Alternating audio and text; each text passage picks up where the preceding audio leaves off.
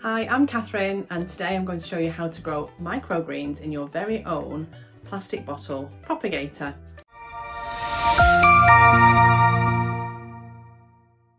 But let's find out first what exactly microgreens are. Microgreens are young seedlings of vegetable and herb plants that are eaten raw or cooked. The young seedlings are quick growing and harvestable after one or two weeks, depending on the seeds that you grow.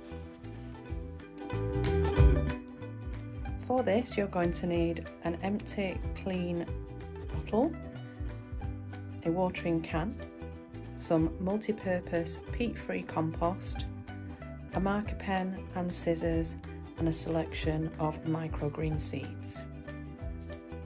Here we've got cress, purple sprouting broccoli, radish and mixed beetroot seeds. Take your marker pen and we're going to draw a line around the bottle to mark about a third of the way up. This is going to be our guideline for when we use our scissors to cut it into two parts.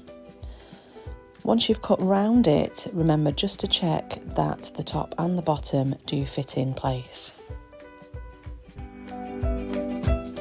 Now it's time to get our compost. Make sure that it's nice and crumbly before we fill the bottom part of the propagator with that compost and give it a little tap down so that this, the compost is settled. We're now going to take our watering can and give it a little bit of a drink.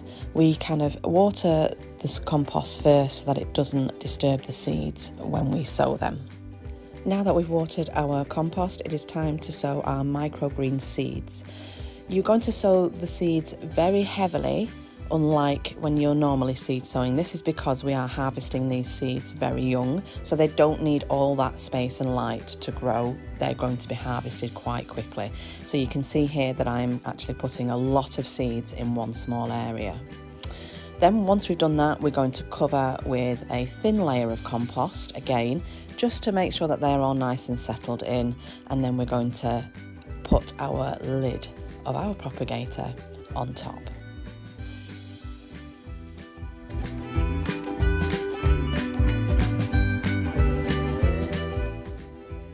This now needs to be left in a sunny spot until those seeds start germinating.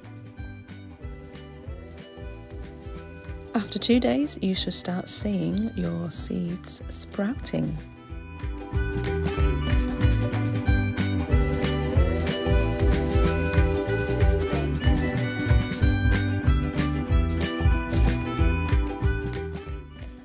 And here, after eight days, our microgreens are looking almost ready to eat.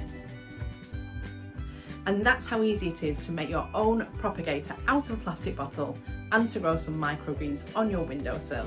So why not give it a try with your young people? Thank you for watching and please don't forget to share this video but also follow Scoutadelic on all the socials.